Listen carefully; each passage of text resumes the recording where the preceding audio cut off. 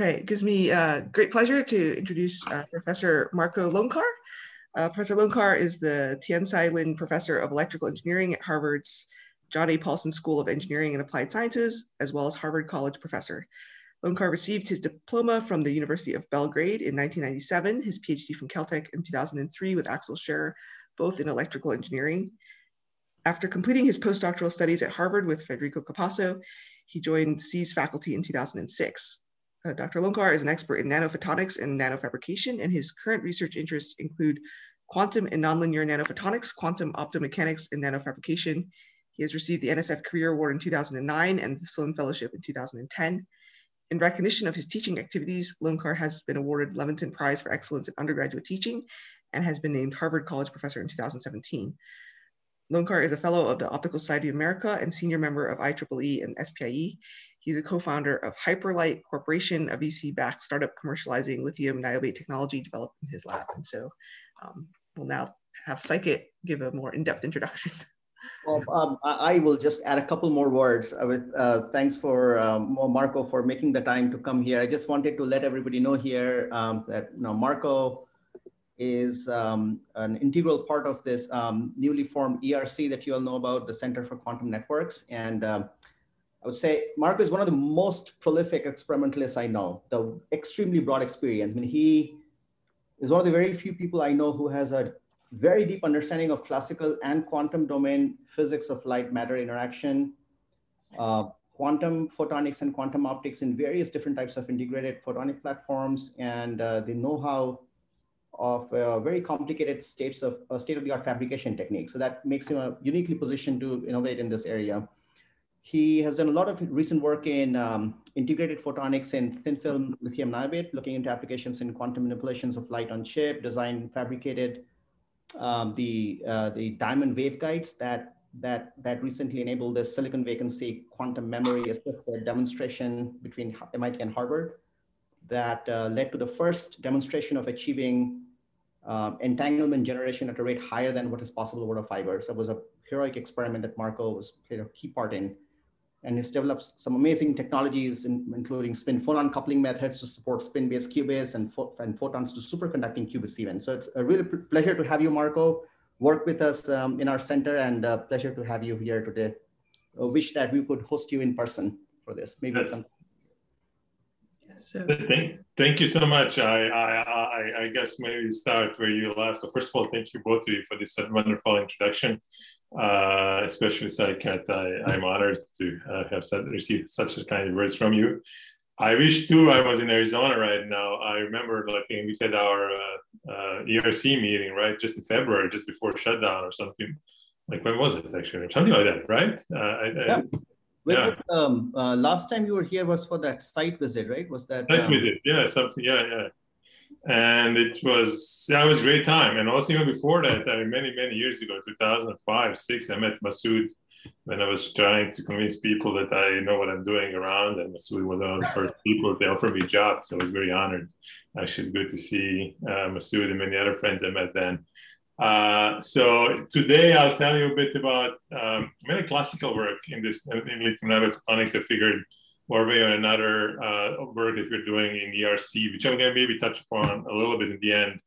Uh, Marko, let me let me just say that we were convinced that you knew what you were doing. It was that Harvard was convinced also, and we could not convince uh, compete with Harvard.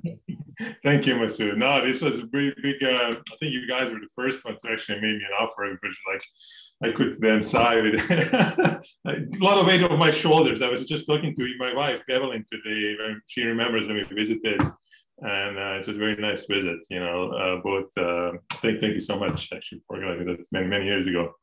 Uh, so yeah, so mainly it's going to be classical discussion today, and I hope to have a chance uh, uh, to tell you a bit about our quantum work in Diamond and also lithium niobate, but I'll mention a little bit about lithium niobate quantum work. And so, so I'll talk about integrated photonics and lithium niobate. Many of you are probably, if you work in optics, and this is School of Optics, so I'm assuming many of you have touched lithium niobate modulator that look a little bit like this. Uh, this is Fujitsu One. Uh, uh, and so what uh, technology that we have been developing at Harvard and now it's being commercialized with Hyperlight is actually miniaturizing these modulators so they are much, much smaller and also so that they can be fabricated using wafer scale processing so that not only makes them uh, uh, less expensive, but also actually high performance, as you will see. And more importantly, you can integrate more, very many functionalities on the chip. And so much of the work I'm going to talk about was supported one way or another uh, by these companies. And there's many companies and many uh, organizations, but they were mainly small grants, kind of. uh, so it's not a whole lot of money, actually. And I want to say NSF was the first to recognize that what we are uh, doing is actually uh, very important. And we had a nice collaborative grant many years ago with Marty Fejer that put all of this off the ground. But the one problem that we had early on was actually because lithium niobate is such, a, such an old material, people just had very kind of uh, entrenched ideas what you can and what you cannot do with lithium niobate. So it was most of the effort was convincing people that actually what we did makes sense. So hopefully this is going to be convincing today as well. Uh, mentioned uh, that we do work in diamonds. So roughly my team is split in two, uh, two main subgroups. Let's say one is a work group again uh, that works in diamond, uh, mainly in quantum space. Uh, there's some work also in 2D materials lately that we were working with Hongkun Park and Dirk Englund. Uh, the work with Diamond is also with Dirk and Mikhail Lukin, uh, Evelyn, who is collaborating as well. Uh, and those are guys shown in yellow here. And uh, half of the group that does um, uh, lithium niobate work. Actually, no, I, I, I confused them. so, so gang that does lithium niobate work is shown in yellow, and the gang that does uh, diamond is shown in blue. That doesn't really matter. But these are the people that uh, did the work that I'm going to share with you today. So in case I forget to acknowledge it, uh, here they are. Uh, so lithium niobate, as I mentioned, is an old material that uh, people have been using for many years to realize uh, Mach-Zehnder interferometer-based modulators, phase modulators, that many of us have been using, are using in the lab. And so this is the device it typically looks like. Uh, you know, this is Mach-Zehnder interferometer, just for those of you who haven't seen one in a while.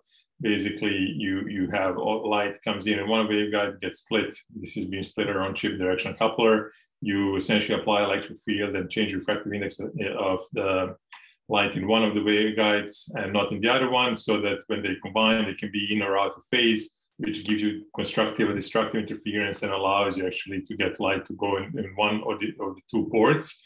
And if you're looking only at one port, then this gives you essentially amplitude modulation because intensity goes on and off.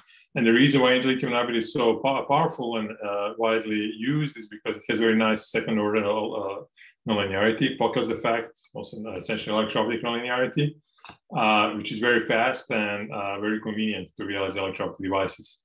Uh, also, niobate has third order nonlinearity, which is actually pretty comparable to silicon nitride uh, but hasn't been used a lot um, till recently. So I'm going to show you some work on third order nonlinearity in lithium niobate as well.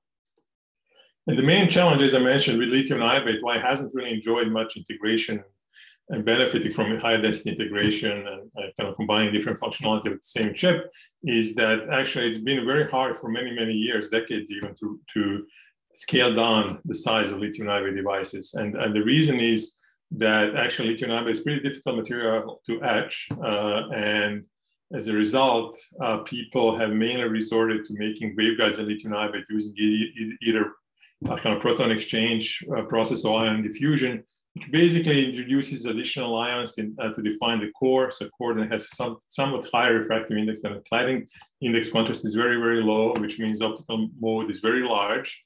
I mean, optical mode is very large. That means you need to put electrodes for your Mach-Zehnder interferometer, for example, very far away from the optical mode, which that means for given electric field that you need to have to switch modulator on and off, uh, voltage is very, very large. And that results in very large consum energy consumption when you use these modulators for optical communications, for example. Uh, and so one of, uh, of, the things we wanted to see is can we actually miniaturize these waveguides, reduce the voltages, and reduce energy consumption uh, and, therefore, and then see what kind of applications there may be. And the main challenge, as I mentioned, is actually making devices in etching lithium niobate because it's an inert material. So, so actually, there's a lot of etcher deposition when you, when you try to do reactive ion etching of lithium niobate. And another kind of problem that was around actually, lithium niobate was only available in bulk uh, for long, many, many uh, decades. But uh, actually, right about the same time when we started kind of revisiting this uh, lithium niobate platform, this company in China started actually uh, commercializing thin film lithium niobate platform. They use essentially smart cut process. Uh, so this is roughly thin lithium niobate, maybe half micron thick on top of silicon dioxide on top of silicon. And so these are commercially available wafers up to six inch at the moment. Uh, and so essentially with that now at hand, we were able just to focus on uh, optimizing fabrication recipes, uh, which basically rely on electron lithography, reactive ion etching, and some post-processing, annealing, and whatnot. Um, and after many years of uh, work by this student, Cheng Wang, we were able to actually reduce uh, optical losses in lithium niobate about 3 dB per centimeter. And so, and this scattering loss, we thought was actually pretty good, uh, good number. Uh, it's not as good as some like best working silicon or silicon nitride, but it's limited basically by this roughness you can see. So this is Y splitter on chip. So this is lithium niobate, this is silicon dioxide, and this roughness causes scattering that then reduce, introduces these losses. And actually, we're very proud of this, but then it turned out very difficult to publish this paper because um, I guess referees just didn't believe that this this loss can ever go down, and they were arguing this is never going to be technology. And then uh, my postdoc at the time, Mian Zhang, actually decided to prove them wrong, which I, I was pretty excited about uh, this. And uh, uh, in very few short months, but further optimizing etch recipe and post fabrication techniques, he was able to reduce uh, uh, the loss to 3 dB per meter just by optimizing fabrication processes basically. And this work actually ended up then being published as memorandum in Optica and had, uh, uh, it, it, came out before this paper in Express. So often people ask me, why did you, why did your follow-up devices, why did they look worse? Well, in reality, actually, they just got published. It took a year to publish this. It took a month to publish this. So, so thankfully, you know, this is a rare situation where uh, kind of uh, hard-nosed referee was actually very, very good to us. Uh, so forced us to improve the processes. And so now with this 3 dB per meter, which is I think only second at the moment in terms of optical losses to like some ultra low loss silicon nitride and some really large waveguide cross section uh, silicon devices, we started thinking, what can we do with this platform? And original motivation actually was really to look into optical nonlinearities, particularly for quantum frequency conversion, as I had uh, mentioned in passing. So uh, we were interested in combining our periodically poled lithium niobate uh, devices that I'm going to tell you a little bit about with our diamond devices so that we can take diamond color center emission from red to telecom uh, for kind of this quantum repeater application. But then in the process, somewhere we got sidetracked and we really got more excited about this microwave plus optical nonlinearity. So, so because this is where actually you can make some really nice modulators frequency comb, some, some of you are looking to frequency domain, quantum computing opportunities, so on and so forth. So, so I will first tell a little bit about all optical nonlinearities in integrated lithium niobate, but then I will spend actually most of the time talking about this microwave plus optical nonlinearities uh, in, in the same material platform. So the first part is motivated is all optical nonlinearities. In addition to this quantum frequency conversion, another thing that we have been working on for a number of years in Diamond as well is frequency combs.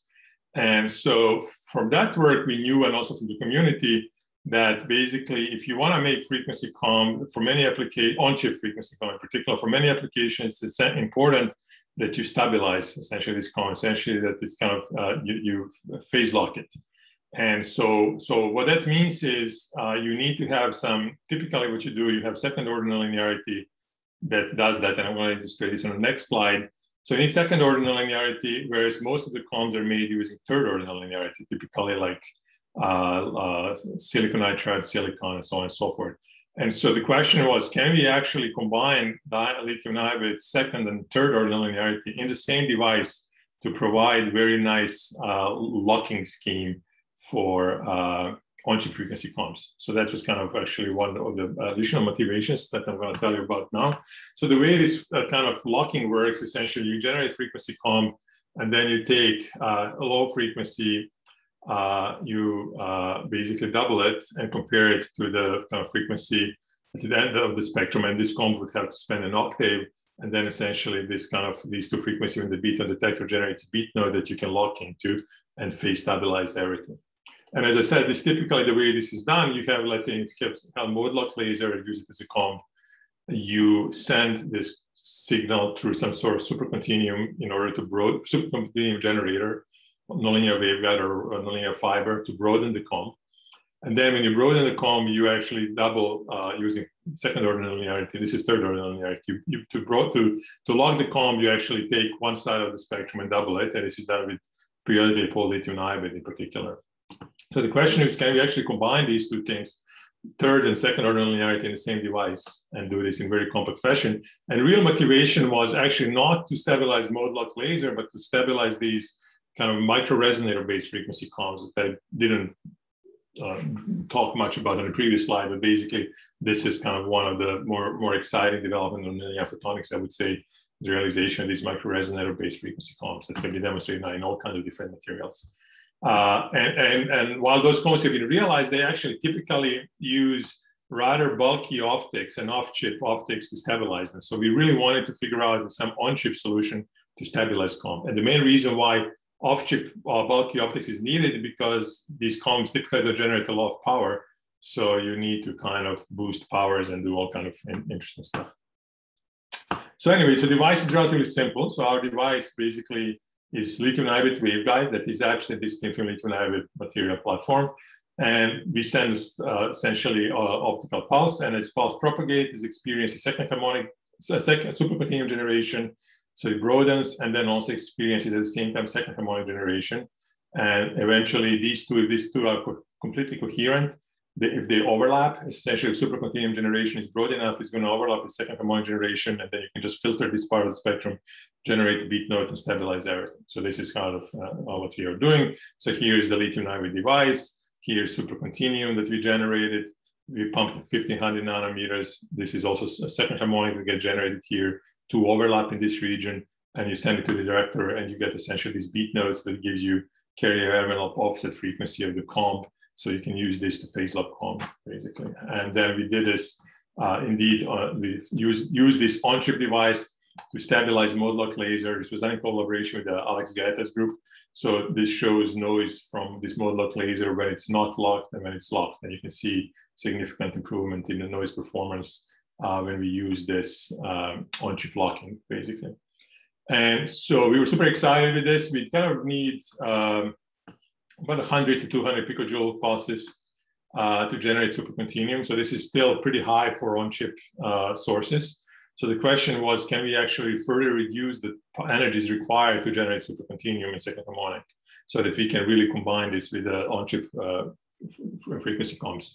And the, this is now work in collaboration with Marty Fejer, uh, where basically uh, answer is yes. And the way to do this is essentially to do uh, take advantage of periodically poled lithium niobate, uh, uh, which basically due to quasi phase matching gives you very good uh, second harmonic uh, generation, kind of very, very good second, uh, it, it allows you to phase match second order processes. And compared to bulk devices, these etched lithium niobate periodic dipole devices actually can give you uh, uh, uh, bandwidth that's much larger than what you would get in a conventional device. So this is very exciting. Uh, as you can see here, our and the reason is when you etch, when you make these nano waveguides, you actually can control dispersion. So not only you're controlling the phase uh, mismatch, or compensating phase mismatch between pump and, and, second harmonic, but you can actually get group velocity dispersion to be such that uh, the bandwidth for uh, efficient conversion is very, very broad. This is very hard to do in conventional lithium devices because index contrast is very small between core and cladding. So, so here you can see how our bandwidth is much, much larger than what you would expect, shown in blue, from conventional device. But for our kind of supercontinuum generation, was another process was interesting. And I have to say this is something that was actually brought to my attention by Marty Fejer, who reminded me that basically in material with strong second order linearity, where you can kind of control the phase properly, you can get effective third order linearity uh, uh, by cascading two second order processes. And it turns out effective third order linearity is proportional to chi 2 square and is inversely proportional to phase mismatch. So if phase mismatch between second harmonic and pump is zero, you see that this third order linearity explodes. And so if you can now phase mismatch over a broader range, you can get really strong chi 3 over broad frequency span, uh, span. So, so we kind of wanted to, to, to uh, check that and together with Mark, we basically realized devices that would have a third order, uh, effective third order nonlinearity, like Kerr effect, Kerr, coefficient, two orders of magnitude basically larger than intrinsic uh, Kerr coefficient for lithium niobate itself. And this was done through this phase matching and dispersion engineering of etched periodically poled lithium niobate waveguides. And what did what that allowed us to do allowed us to have supercontinuum that kind of overlaps with second harmonic uh, with like you know less than 10 picojoules of power. Uh, this was done at longer wavelength, uh, uh so uh, now we are trying to actually do this at 1500 nanometers, go down to 750 and stabilize basically some fiber lasers. In fact, we have nice collaboration with Vector Atomics and some funding for them. This is a, a, a company commercializing atomic clocks. So what they need is very, very compact frequency combs. Uh, and they have comb, but they don't have compact locking schemes. So we are working with them on actually uh, implementing these. Uh, so so that that works. So essentially, the goal is now to combine this uh, uh, uh, with some frequency combs made in silicon nitride silicon. But also, what you can do actually, you, you don't need to go back to silicon silicon nitride to make frequency comb. It turns out you can make frequency comb nicely in lithium niobate. And uh, this basically this very low loss that we have with 3 dB per meter translates to about quality factor of 10 million at, at telecom wavelengths, which is also demonstrated. Uh, which then means if you can dispersion engineer this lithium niobate ring resonator properly, you can get actually uh, potentially uh, into, into, kind of um, uh, you can generate comb.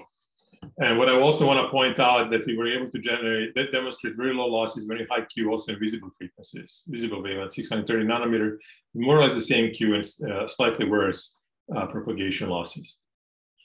So we took this device, pumped it a little harder, and indeed we were able to generate nice frequency combs. So here we are taking CW laser and we are shooting light to this comb uh, in lithium niobate, uh, to, this ring resonator, and we are generating comb uh, for two different polarizations.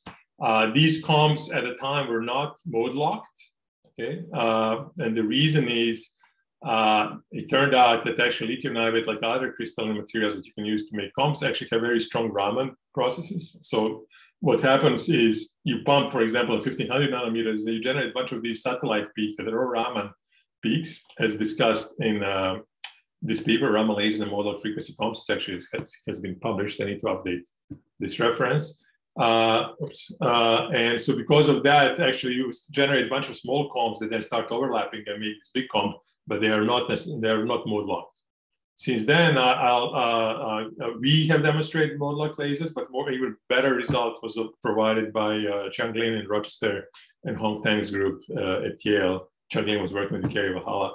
Uh, they were able to demonstrate beautiful soliton mode locked frequency combs in lithium niobate following some of these early demonstrations that we have provided. Uh, in our case, what we were interested actually was this kind of ongoing theme of combining second and third order nonlinearity to the same chip. So we took our frequency comb because it didn't generate uh, pulses and because energy wasn't very high, we couldn't stabilize it. So instead, what we did, we did another uh, demonstration that was also important for optical communication application of frequency combs, for example, uh, which is essentially combining modulator and filter with uh. So the idea is if I generate frequency comb starting from CW laser, I generate a bunch of comb lines, then now I can drop one of these comb lines and modulate it and put data on it. And then I can essentially daisy chain a bunch of ring resonators on this input waveguide, modulate uh, each of these rings to have different communication channels. And when I recombine them, I can get very high data rate transfer. So this is something that um, we demonstrated in principle. Data rates were not very high because here we were limited by quality factor of the ring resonator, how fast you can modulate, but this shows, we show the ability to make tunable filter out of this uh, using essentially electro-optic effect in this ring. And, and we use this ring as a Kerr comb source that was all integrated in lithium niobate. And then we also were able to put some AC signals here, RF signal, essentially modulate uh, the comb, uh, one of the comb teeth as well. So that uh, brings me to the end of the first part, which is a little shorter part, as, as I mentioned, but it took half the time. So I, am gonna maybe uh, uh, try to make, make some some lost time to, uh, in the second part. uh, where I will may, mainly be focusing on microwave plus optical nonlinearities, right? In particular, electro-optic effect in resonant and non-resonant lithium niobate structures. And so here, motivation really uh, was, can we uh, realize very efficient optical interconnects for wide range of applications? Uh, in particular, can we, uh, can, is there hope first to try to understand what are the limits of current optical interconnects used in uh, in, uh, in data centers uh, that first were being were based on VCSELs, directly modulated lasers. Then people started using these bulky lithium niobate modulators or indium phosphide modulators. They're slowly being replaced by silicon photonics because of uh, uh, ability to integrate many functionalities on chip, and also the, the cost uh, is actually driving this down uh, the cost is going down and therefore silicon photonics becomes appealing. But actually, as I mentioned later, silicon photonics has many challenges when, uh, when it comes to uh, pushing, like uh, enabling next next kind of next milestones in these uh, uh, data center communications. So basically, but in addition to data center, there's many other communications strategies that require good electro-optic modulators. So long haul telecom is essentially what allows uh, communication over long distance via fibers, optical fibers. Uh, datacom, I mentioned, uh, it's just communication between different computers in data center. And also increasingly, so wireless communication rely on sending optical signals, sending signals down optical fiber. So this field of photonics is uh, get, uh, becoming more and more prominent uh, these days. And all of these rely on essential electro-optic transduction, which is essentially ability to take uh, uh, Uh, data from electrical stream and encode it in an optical stream, basically. So you have laser, you have modulator, you put electrical signal here and generate optical pulses. You send optical pulses via fiber. On the other hand, you have receiver, and then you send these electrical signals into processor. And so, as I mentioned, there's like at the moment three main technologies, maybe lithium niobate bulk old school devices, which are referred to often as to vacuum tubes equivalent to microelectronics, are essentially workhorse or long haul optical communication because they give you the highest, the best performance, most linear performance of all other modulators. Whereas for, and perhaps they're also using wireless communications quite a bit actually. Whereas for data center, the cost is driving everything. People use mainly, as I understand now, indium phosphide and silicon photonics. And so our goal was, can we actually enable this long haul performance at the cost of silicon photonics uh, and uh, realize modulators in lithium niobate that would be cost effective, but also that could be driven directly with CMOS voltages. What mean I, I mean by that, uh, normally if I want to drive modulator, shown by Mach-Zehnder here, uh, using some signal from a microprocessor because typically lithium niobate modulator uh, uh, have very large VPI voltage. You need to essentially boost the signal. You need some RF amplifiers, which increases the cost and size, energy consumption, and everything. So the question was, can we actually reduce the VPI modulator so that they can be driven directly by signals from microprocessor? This will give you low energy consumption. And, and in order to improve upon silicon photonics, silicon photonics is very cheap but has huge insertion loss because silicon is not good electro-optic material. So in order to get the electro-optic modulation, you need use carrier dispersion, which comes at the expense of carrier absorption, free carrier absorption. So essentially big insertion loss. And so we wanted to see, can we actually have low energy operation, low insertion loss, high bandwidth, and everything integrated on the same chip? And basically answer is yes. Uh, and for that, we leverage the fact that we can make very low loss, very highly efficient optical waveguides in lithium niobate by etching lithium niobate. And so then what we did essentially did a little more, more engineering. And so uh, we realized these Mach-Zehnder interferometer-based modulators. So you have essentially uh, blue lines, dark blue lines, the lithium niobate waveguides. They're surrounded by RF electrodes. These are traveling wave electrodes uh, uh for the reason uh, that I explain in, in, a, couple of minutes. this is cross-section of one of the modulators. Um, purple is lithium niobate, or this pink is lithium niobate. For, these are gold electrodes. Between them is five to seven microns, depending on what we're trying to optimize for.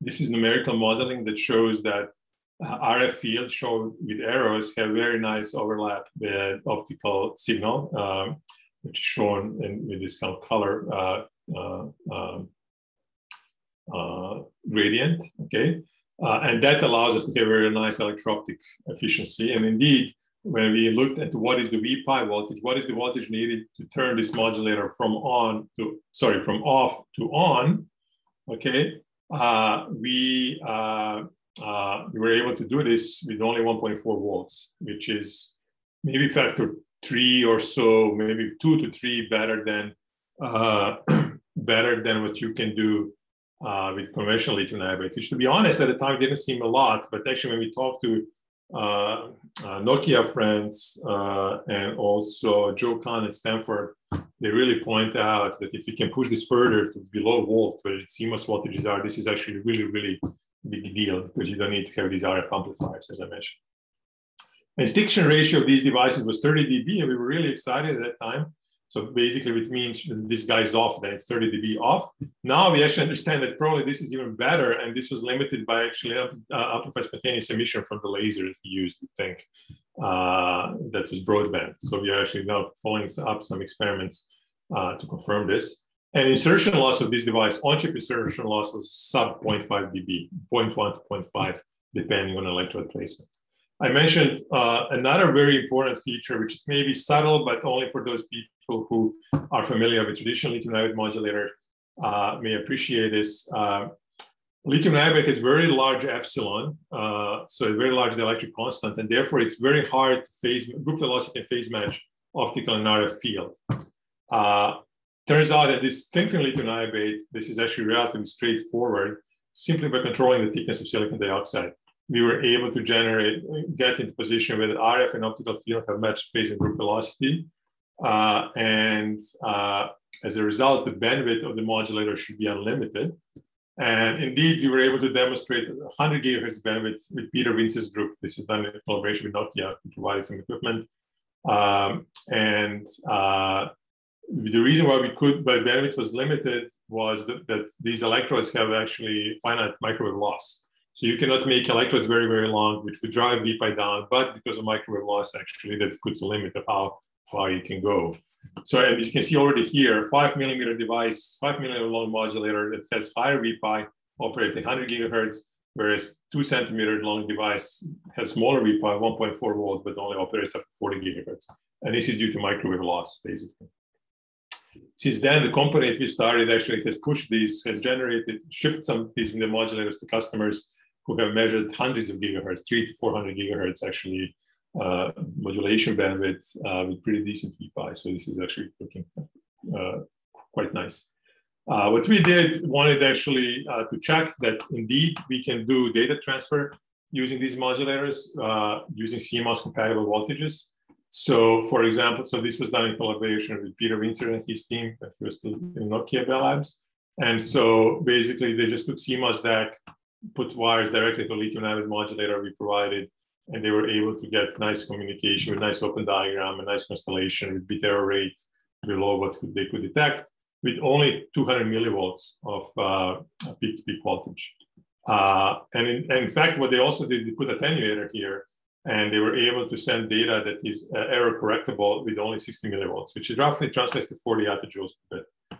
And so this is on-chip consumption. Of course, this is somewhat misleading because if I take one kilowatt laser here, it's an input, I could reduce, my signal to noise is going to be much better, right? So uh, I can use much, much less electrical energy to actually do communication. So what's really important to look into is overall consumption, laser power, detector power, and modulator power. But for on-chip devices, this is what people use to compare. So we, we decided to compare uh, to, to, to, in order to provide fair comparison, essentially we're just showing these on-chip losses, uh, uh, energy consumption to, to do data, data transfer. Other things that we also did, we also uh, said, uh, used uh, kind of uh, 70 gigabaud device and we're able to send three bit per symbol, which gave us, at, at the time, this was record for integrated modulator 210 gigabit per second.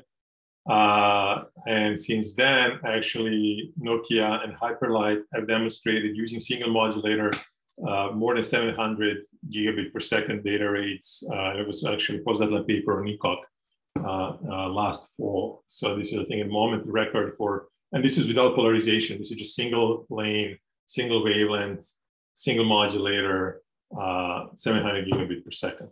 So using similar similar modulators.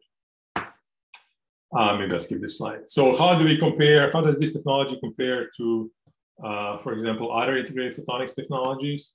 Well, uh, as I mentioned, silicon is most widely known uh, as a kind of integrated modulator solution. And as I mentioned, it has a problem that it has large insertion loss because it's really not good electro-optic material. In order to make uh, electro-optic phase modulator, which then used to make amplitude modulator, you need to inject carrier, and that comes at the expense of uh, free carrier absorption. So if you want to reduce the voltage of silicon modulator uh, from let's say 10 volts to 3 volts, you need to dope it more and more. You need to inject more and more carriers, and then losses, insertion losses go up. And these are on-chip insertion losses. Uh, in the, uh, our modulator, on the other hand, doesn't have this trade-off. On the other hand, our modulator is much bigger than silicon modulator, so it really depends what, what is uh, uh, uh, what is the figure of merit that uh, some user needs, right? And other platforms actually, I think indium phosphide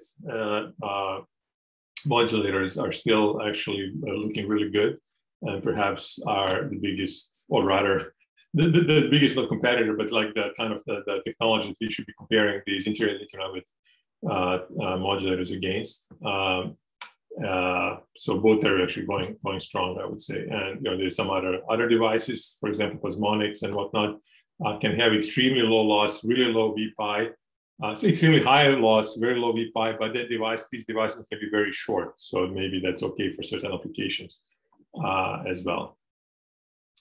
Okay, so uh, what we were then interested in was really this idea of using frequency comb to further increase the data rate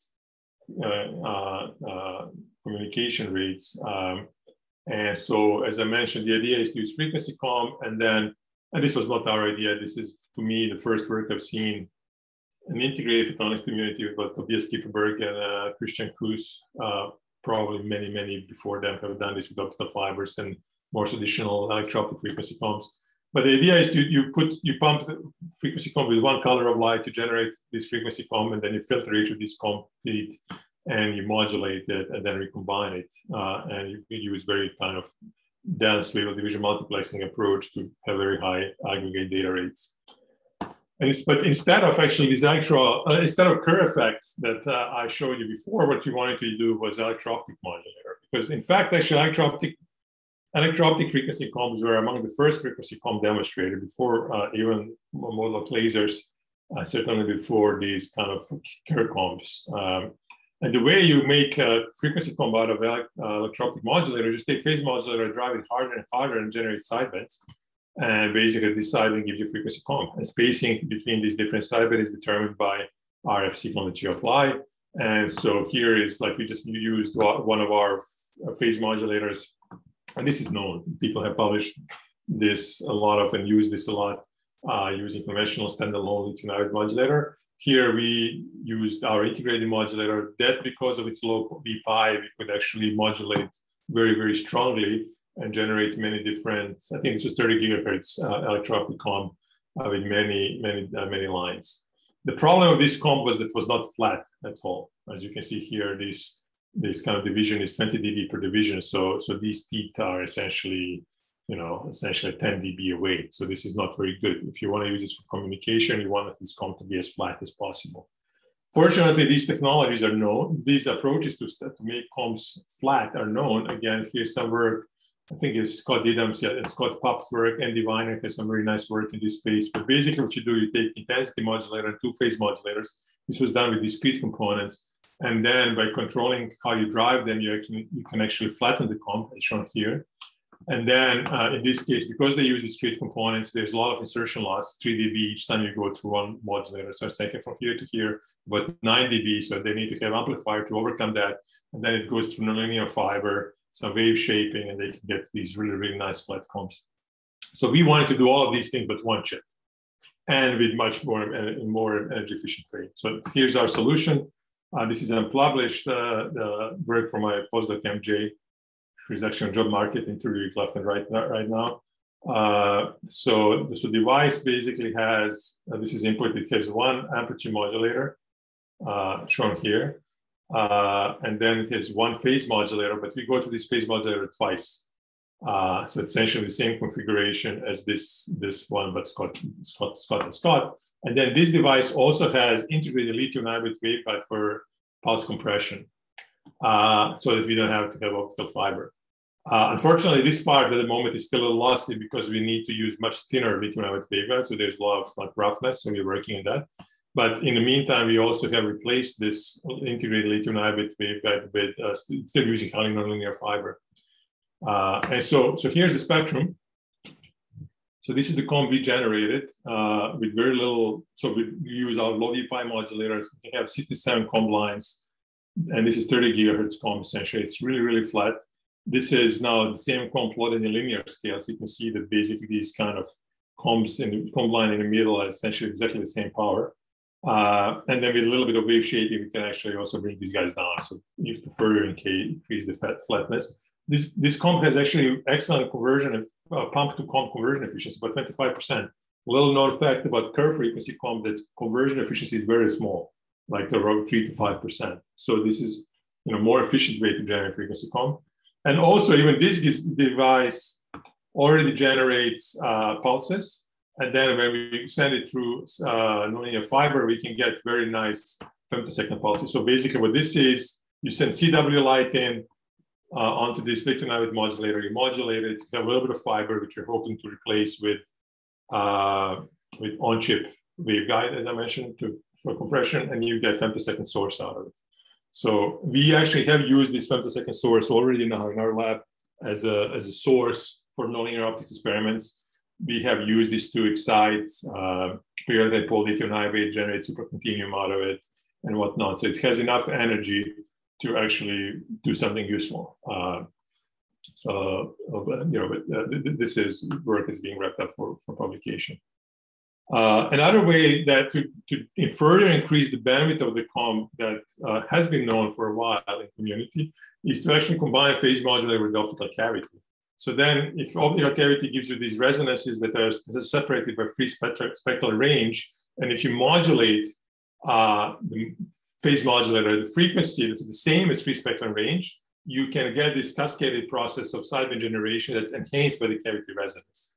And there was a lot of work done with kind of standalone bulk modulator inside optical cavity, or this is done by Joe Kahn at Stanford. Uh, you have phase modulator inside fiber cavity, and those things work, but bandwidth is always limited. Uh, uh, so what we decided to do essentially take one of our ring resonators and put phase modulator inside a ring resonator. And so this is optical waveguide ring resonator. This is uh, this actually cavity has FSR of 10 gigahertz. And then we were able to drive it at 10 gigahertz and generate nice 10 gigahertz comb. Uh, this comb, unlike Kerr comb, does not, you know, work at any optical powers because this is actually linear. Optical is linear process. It's optics plus RF. So as, as soon as you turn RF, you start generating pulses out of this guy. There's no fancy locking stabilization. It just give, immediately gives you pulses. That's very nice. Another nice thing is you can take the same device and drive it in 20, 30, 40 gigahertz or so, and you can generate comb at multiples of free spectrum range as shown here. So this is also uh, pretty cool. But still, the bandwidth, while it was wider than the bandwidth of our kind of AM, PM uh, frequency comb shown last few slides, uh, this kind of roll off uh, uh, was not very good. So, uh, you know, like, oops, you get this is 20 dB per division. So, you know, I mean, it is broader, but still it's not really, really flat comb. And the problems are actually several. First, dispersion engineering here wasn't done properly. So we now have better lithium waveguide designs that in theory should give you very broad comb. And second one is subtle that I was hoping to tell you a little more about, but I'm going to skip it maybe in interest of time. And then if there's a question, come back to this. And second one is essentially that actually modulation and uh, uh, the, you kind of want to drive this optical resonator hard in order to generate more sidebands. But it turns out the harder you drive it, the more difficult it becomes to put light inside. And, and this is subtle, but here's why. If I just make ring resonator and measure its transmission, I get this blue dip. And we, we spend a lot of time to kind of uh, make sure this ring resonator is critically coupled to the waveguide. But then when you start driving with RF, actually, you take light out of the pump and generate sideband. And this is effectively loss mechanism for the pump. So essentially more RF introduces more losses, effective losses to the, to the resonator, and then the resonator becomes severely undercoupled. And that's why these dips uh, become smaller and smaller and harder you drive it, the, the, the more difficult it becomes to put light inside. And that's what limits actually comb bandwidth. And, and moreover, these then dips don't, don't look like Lorentzian, and you can think about it essentially resonance is moving left and right within the photon lifetime, so you have some sort of average. Uh, that's one way to think about it. It's kind of average kind of effect. Another much nicer way to think about this is actually, I'm going to show briefly on the next slide, and then I'm going to skip that part probably just to go to the last part of the presentation. We actually overcome this recently. I'm not, I'm not showing you data by actually using two coupled ring resonators, where we use one ring resonator as a dynamical dynamic coupler, if you will, which we can tune. So so essentially adjusts critical uh, essentially it, it adjusts itself so that you're always critically coupled to the EO comb resonator as you're driving it hard and hard. It's actually pretty cool. So you're always critically coupled. You can always put more light. And we were able to show that we can significantly increase conversion efficiency from about 5% to 30% using this process. Uh, unfortunately, we've actually published theory work with Joe Kahn again on this, and now we have experimental data to confirm that as well. Uh, but this process is actually pretty cool. So this process of comb generation inside a resonator is basically a random walk, if you will, in frequency domain. So what photon does when you apply RF is copying left and right for one frequency mode to another, which is equivalent of having sending photon to beam splitters. Essentially, each time you apply RF, you get uh, photon, you know, if, if photons are sitting here, it can go left or it can go right. So it's random walk, experience is random walk in frequency domain. Uh, and therefore, it turns out uh, you can think about this process as in tight binding formalism, that essentially your resonances of the resonator corresponds to some sort of crystal lattices. And then you have free electron, in our case, is photon that's hopping in this kind of background, this lattice. But what's really cool is that, and, uh, uh, and maybe not so obvious to see right away, if I apply two RF signals that are slightly detuned from one another, I actually now photon has two different ways to go from one resonance to another, and effectively has experiences two-dimensional random walk, which is equivalent to actually two RF signals spanning two-dimensional lattice in frequency domain. And if I apply three RF signals, I'm actually kind of photon has experiencing, it's walking in equivalent three-dimensional lattice. And if I have four RF signals, it's four-dimensional lattice. And we went up to four, and then we ran out of AWGs in our lab. So we didn't go to five, six dimensions, whatnot. But then when you do transmission measurement, sorry, my bad, transmission measurement with one RF, two RF, three RF, four RF, these transmission resonances uh, actually uh, turns out when you do theory, there's one on to one mapping of measuring transmission through RF modulated resonator with measuring density of states in one, two, three, or four dimensional crystal that we kind of uh, uh, have in the synthetic space uh, that's projected, uh, expand, that is uh, described by these like RF, RF sources. Another thing is if you kind of, if RF source is tuned to FSR, you, indeed you get this random walk and if you are slightly detuned, you have you, you, your photon experiences boundaries in the frequency domain. So it looks a little bit like Bloch oscillation. And we have actually went further and really generated real kind of frequency domain boundaries for photons, which in turn ended up, so photon cannot, this process cannot go forever. Photon hops up to a point and then hits the boundary and starts reflecting back in frequency domain, which essentially increases the efficiency of comb generation in this smaller bandwidth, right? So either we generate broad comb with low power per compute or narrow comb with a lot of power using these boundaries, which is also pretty cool and some work in progress. Uh, uh, I know I'm kind of running a little low on time. I'll try maybe in the last three, four minutes to tell you quite a few things, uh, but maybe just uh, uh, some highlights. So, so everything I said so far was like along the lines of actually uh, modulation, basically electro-optic modulation. Um, uh, so you take modulator, you drive it hard, you put some sidebands, and you generate like these kind of frequency combs. But the question is, can we uh, get rid of these sidebands, can we make truly like single sideband modulator, which has many applications in RF communica uh, communication, or can we use this uh, to this kind of process to realize frequency shifter, which would be device that takes, uh, you put one color of light in, you apply RF, and you shift all the photons at that frequency to different frequency. And, and this shift is basically the same as frequency of the RF. We went up 40 gig, which is what we have in the lab, but in principle can be, you know, anywhere really. The device we use for that are these photonic molecules, and I'm not going to spend a lot of time talking about them, uh, unfortunately, but it's actually probably the most exciting part uh, of what we're doing these days. So these are two ring resonators made in lithium niobate, coupled to lithium niobate waveguide with RF electrodes. And basically what happens when you have a single ring resonator measure transmission, you have like these resonator dips. When you couple two ring resonators, each of these dips splits in two, you get doublets, and you can think about this as essentially super, super modes into coupled quantum wells. And so what you have now two resonances are these two super modes, and we apply microwave signals and can go from one resonance to another. And so this actually indeed behaves like molecule because it's a nice electro-optic effect. If you apply DC bias to our, these two resonators, we can actually shift the resonance splitting as shown here, this experimental data. With zero bias, splitting is maybe like 12 gigahertz here, maybe a little less, nine gigahertz. And when we apply bias, uh, actually the splitting increases. Uh, so one goes here, the other one goes there. So you can use this to tune the splitting.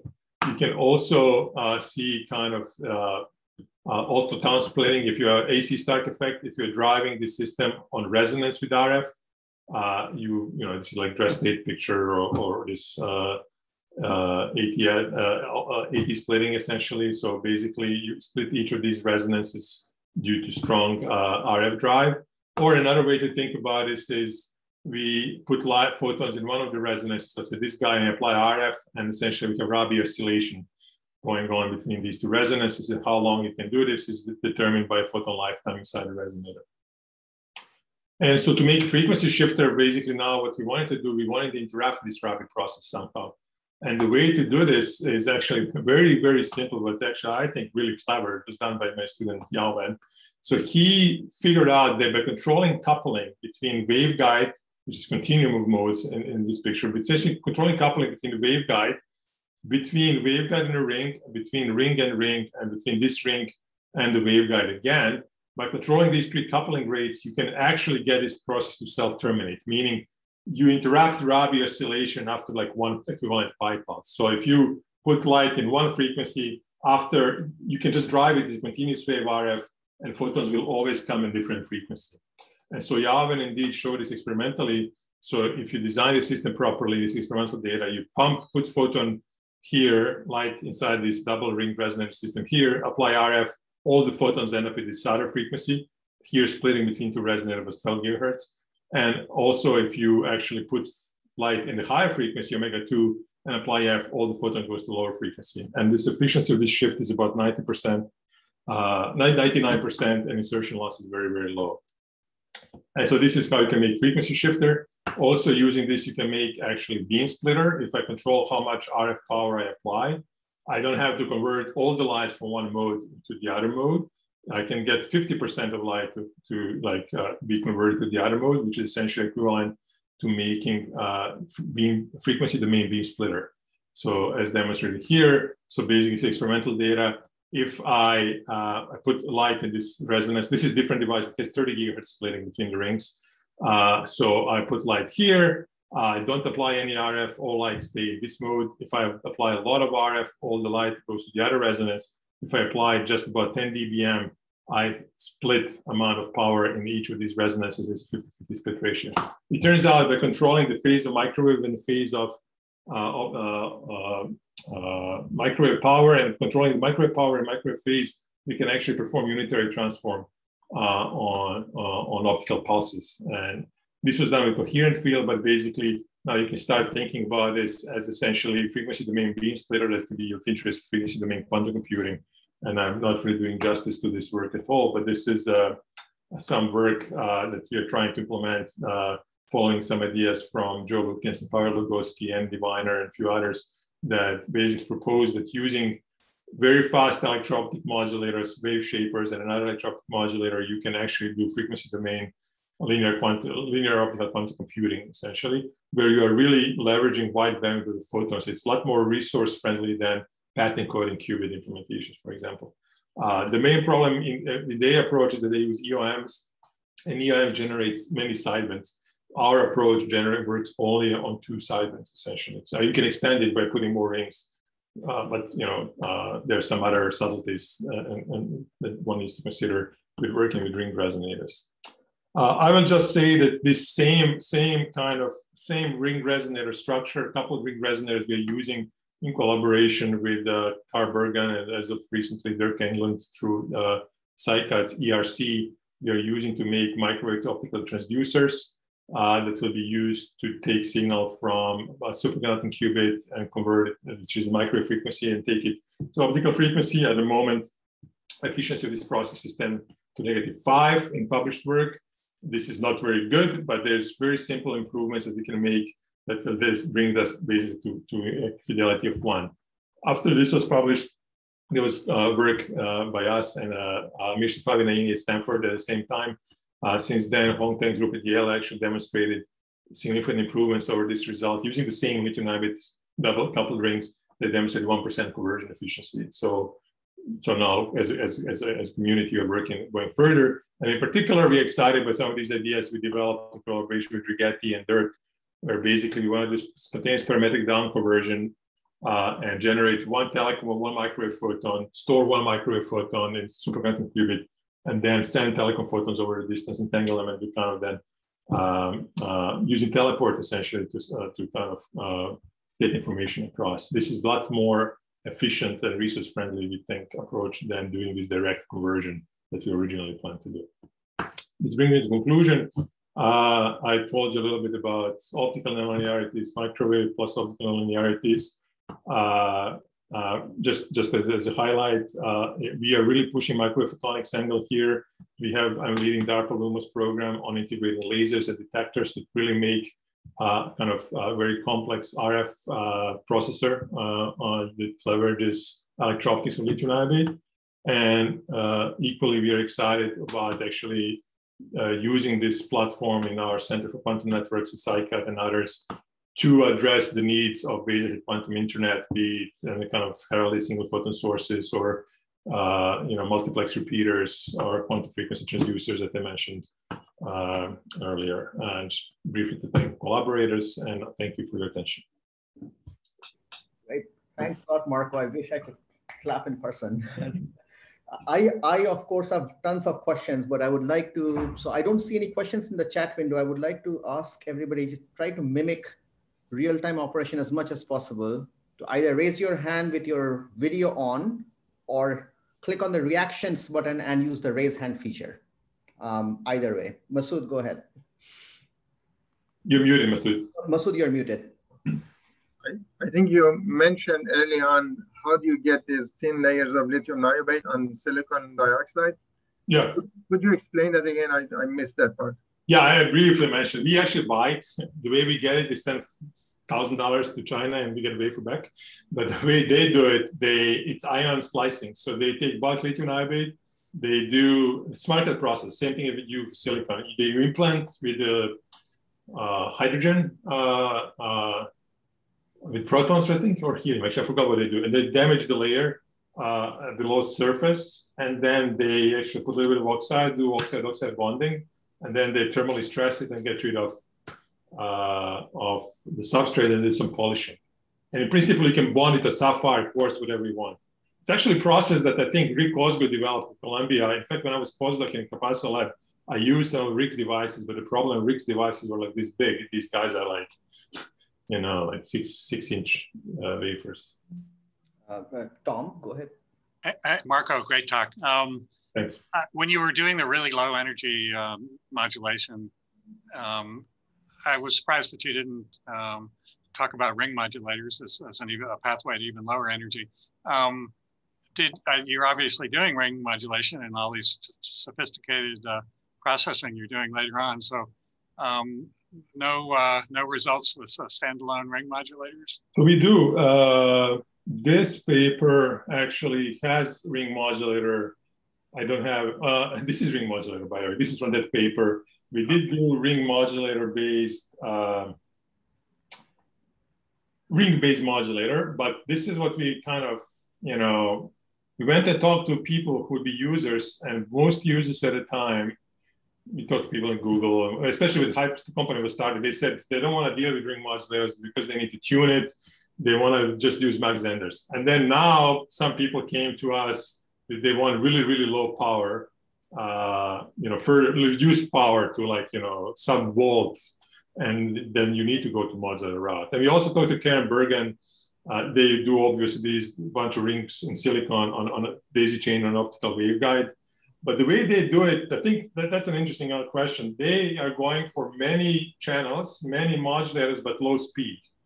Uh, so for us, think we're going operating a different regime. We can go very fast with single modulator, but then the question is, can electronics keep up? So it's, a, I mean, it's system level design. I think that I don't have good answer. okay. one one other question that on the quantum stuff, I it's pretty clear you, there's no uh, no room for optical gain on these things. But for some of the other applications, are you messing around with uh, erbium doping or anything like that?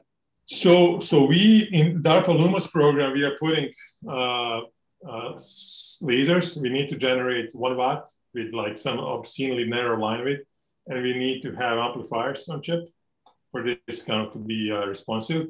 Uh, so we are doing that. We are kind of close to having this done. Actually, we unfortunately cannot do John Bowers' approach because of we need to have one watt. So we need to have vertical injection through the laser. There is, you know, otherwise resistance is too large.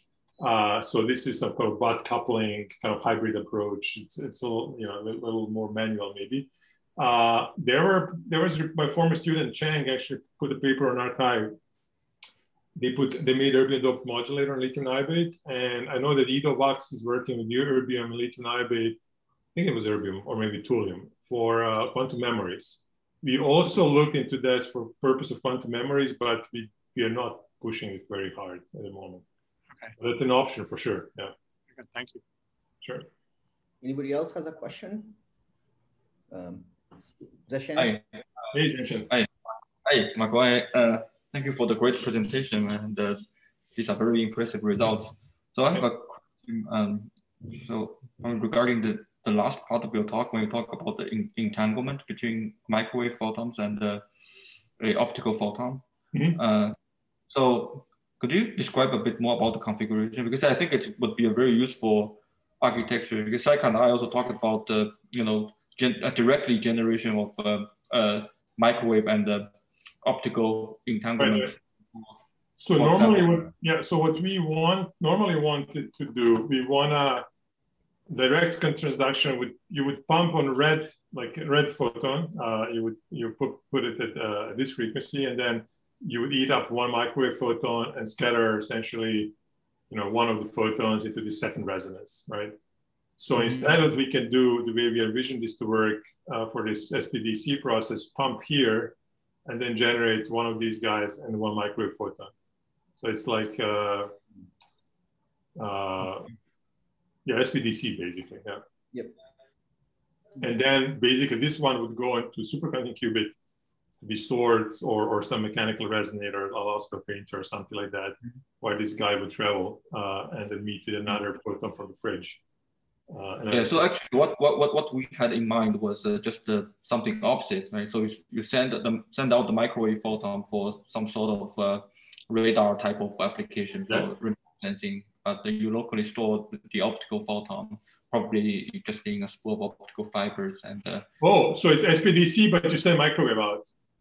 Yeah, so yeah. you know of this um, work we did, like Jeff and I did many years ago on quantum illumination with uh, entangled photon source using SPDC. I mean, what recently what we are finding is that uh, the real con-ups of that, I mean, the, the classical quantum improvement is actually when you're in a high noise regime and it supports microwave operation, but we need to be able to generate that microwave photon entanglement and Zheshen built this receiver when he was at MIT that involves a parametric process between the target return signal and the stored idler. And uh, we believe that this technology might be useful to do that. yeah. Uh, sounds good. I mean, what, what are you saying? Like, uh, do you want to work together? Is that what you're saying, or are you? Absolutely. Yeah. Yeah. No, that's uh, there's.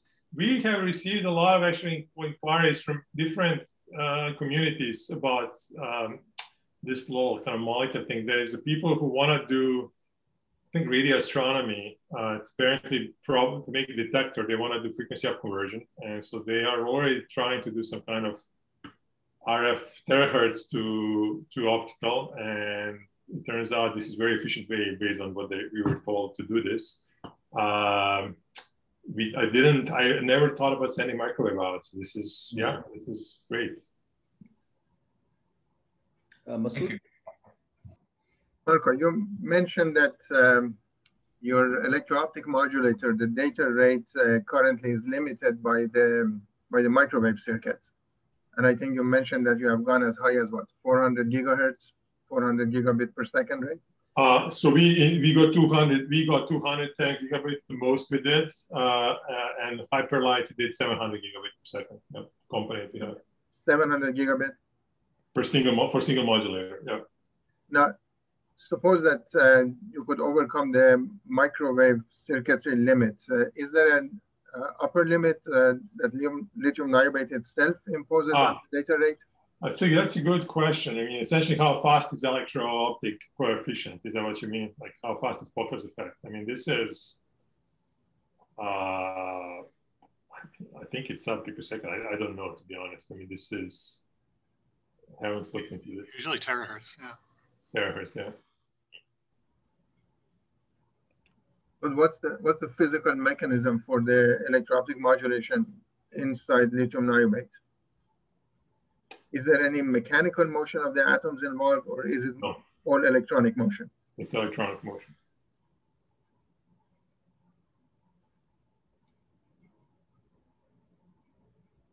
More questions?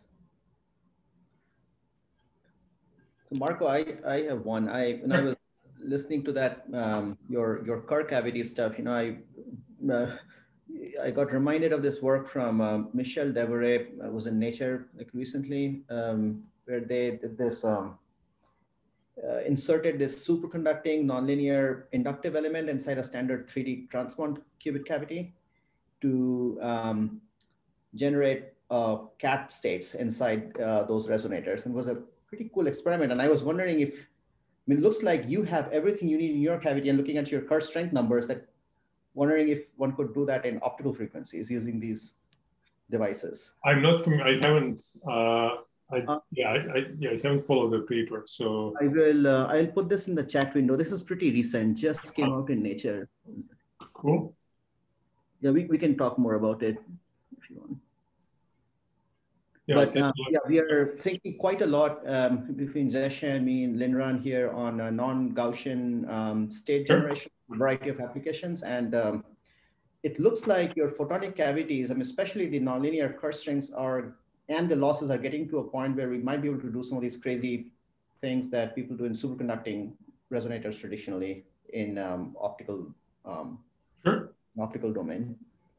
I mean, it's, uh, yeah, I, I would have to take a look. I mean, we, what our dream is, and you may remember this little workshop we had with Tatiana and mm-hmm. conversation mm-hmm. we had there. I mean, we are maybe maybe maybe factor of 50, maybe 100 in these devices away from having single photon linearities. Uh, uh, which, by the way, we may be able to overcome by periodically poling uh, maybe these things to kind of enhance linearities. So this is, then you could really start incorporating these Hamiltonians or superconducting qubit in, in, in, optical domain, which would be pretty cool. But uh, we recently had some work with Tobias Kippenberg to try to estimate what is the material limit of, of this thin film platform. We at the moment think it's on the order of 60 million, which is not, it's a little bit disappointing maybe. And we don't know if this is, well, actually there's two reasons. One is this is congruent lithium niobate. It's not stoichiometric, so we need to probably get better lithium niobate. Second, this process of ion implantation probably causes some issues. So Qs that people demonstrated in JPL using polished lithium niobate was about 100 times better than what we have. Wow. Mm-hmm. There is hope, but these are both spheres. These, you know, so material should be able, if we get good material, to go high. So that's another direction, and maybe maybe also useful for what you were saying. I see. Interesting. Mm-hmm. Yeah. By the way, I have some update for you later. We can talk about that DARPA um, workshop. There's some activity happening there. Cool. Yeah, yeah. I also talked to Tatiana actually. I think she uh, recently. So. Awesome. Yeah, let's catch up on that. Any more questions for Marko?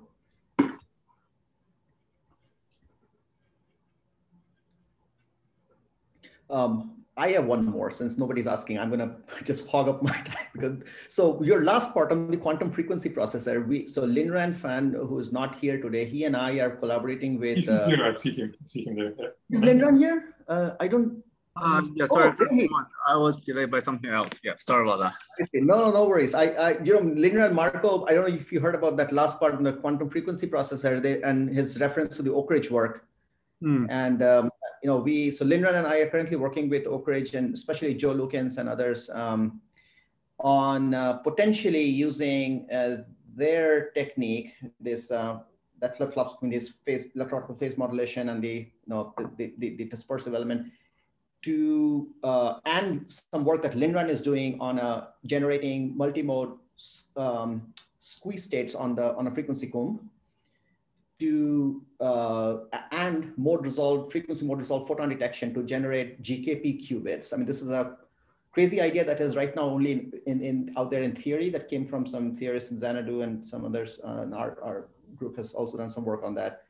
So we were, I was wondering what are the pros and cons of using that approach versus your approach? I mean, they're both universal in the sense of being able to do arbitrary beam splitter-like interactions across a set of frequencies.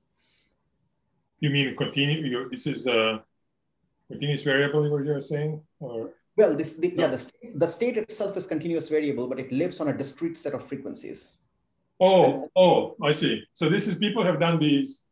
I remember Roberto Morandotti had these kind of almost cluster states also in different set of frequencies using frequency comb below threshold basically is that is that what you mean right um do you know of olivier pfister's work yes i mean I I, some not all Sure. So think of what, so what Olivier is doing in a bulk um, OPO crystal, Linran is doing that in a, basically it's a similar mm. type of goal, but he's working on a nanophotonic platform. And yeah, I don't, yeah, I don't know, uh, to be honest, uh, what uh, what would be better. To be maximally honest, once we had this modulator, we were trying to figure out what can we do with it, and it seemed to be uh, like these guys or some we talked to Joel quite a bit actually, we know him well.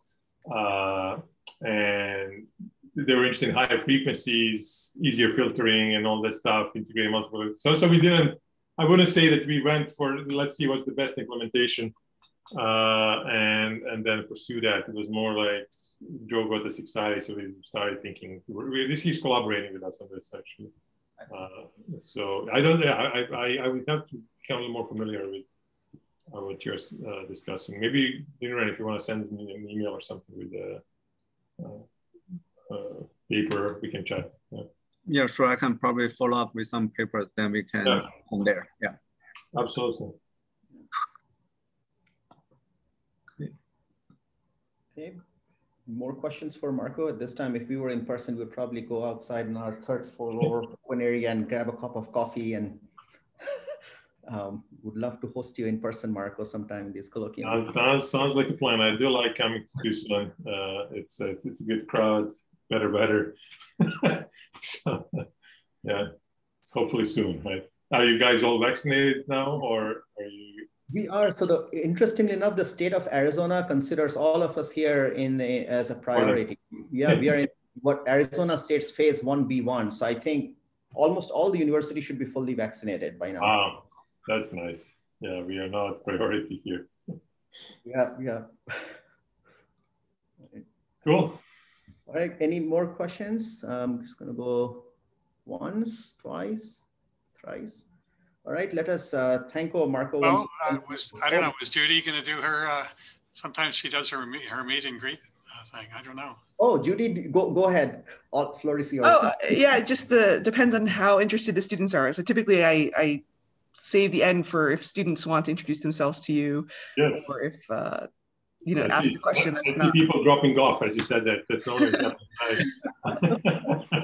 So maybe wait, see, uh, do any students want to introduce themselves to Marko? Maybe ask him a question that's not necessarily technically related to the talk. If so, just you know, turn on your video and ask. Yeah, if not, it's pretty late over there, so. If there's no student, I was just. Hey, Stan, how are you? Good yeah, good all right, good seeing you. Yeah. Thanks. I guess we've got a shy bunch. Yeah, so. Looks like it. Yeah. Thanks. We really appreciate you taking. Yeah, thank you so much. Yeah, this was fun. Let's see a lot of friends. I don't see Saikat enough, so it was great. we're, we're, looking forward to getting you out here again sometime. So. Absolutely, it'll be my pleasure. Absolutely. Yeah. Thanks, Marko. Good to see you. Hey, good to see you. Bye, everybody. Bye. Bye.